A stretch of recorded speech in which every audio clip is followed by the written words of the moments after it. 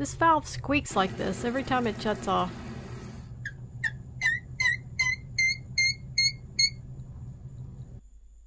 I tried taking this apart to clean the rubber seal.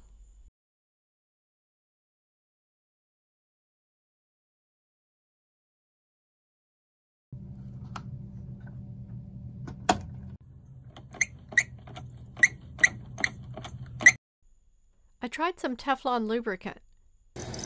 It's still squeaky. This is four times speed, but it leaked a little bit too. So I bought a new one. They had it in stock at an Ace Hardware nearby, under $5. To replace this part, start by turning off the water.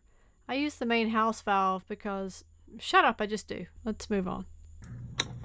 To get the valve off, push down and give it a quarter turn.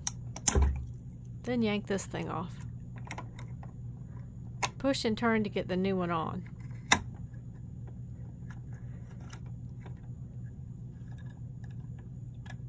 And then reattach the rod.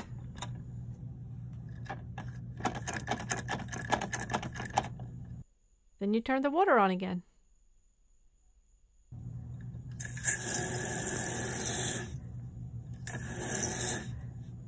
All better. And it doesn't leak.